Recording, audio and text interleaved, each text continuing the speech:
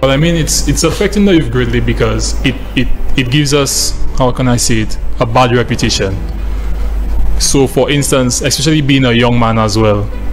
you could be raised from a community where they classify it as a hood and you may not even be involved in gang related activities, but they will already pinpoint you as probably a gang member or as they say in Lucian terms of VNEG and etc. which I know friends of mine who comes from these areas and it's even hard for them to get a job because of where they come from because the employees already classify them as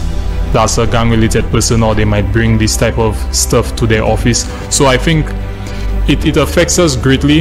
and that's something I would really like to see go down because the young people have a lot to offer